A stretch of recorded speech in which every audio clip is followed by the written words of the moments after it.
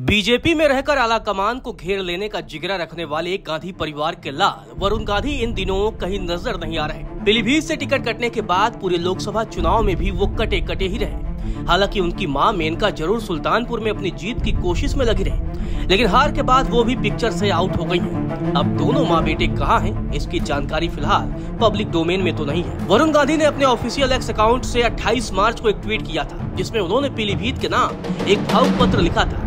लेकिन उसके बाद उन्होंने कोई ट्वीट भी नहीं किया।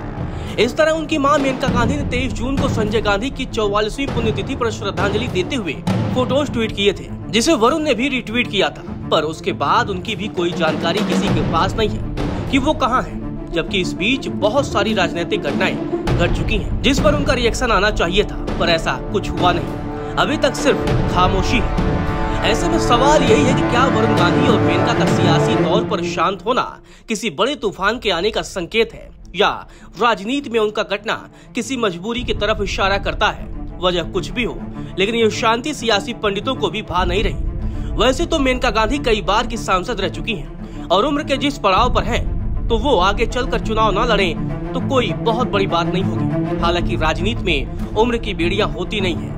इसके कई उदाहरण आज भी संसद में मौजूद हैं। फिर भी मेनका को लेकर ये संभावना हो सकती है कि ऐसे में हार के बाद उनकी खामोशी समझ आती है। पर वरुण गांधी का चुप रहना, सियासी गलियारों से अपना नाता तोड़ लेना कुछ जच नहीं रहा है, क्योंकि उनकी पहचान ही एक्टिव नेता के तौर पर रही है, जो जनमानस से जुड़े मुद्दों पर मुखर होकर बोलता रहा है। लेकिन वरुण ने इन दिनों सब कुछ छोड़कर खामोशी ओढ़ ली है। क्यों? पता नहीं। ये खामोशी कब टूटेगी, ये भी पता नहीं। इस बार तो बीजेपी ने उन्हें टिकट भी नहीं दिया था। और अगर आगे भी यही सिलसिला रहा तो क्या वरुण राजनीति छोड़ देंगे, जिसकी तैयारी वो आज से ही कर रहे हैं? ऐसे सवाल तो सैकड़ों हैं, लेकिन इसका जवाब फ़िलहाल किसी के पास नहीं है। आपको वरुण और मेनका की खामोशी पर क्या लगता है? कमेंट करके ज़रूर बताएँ।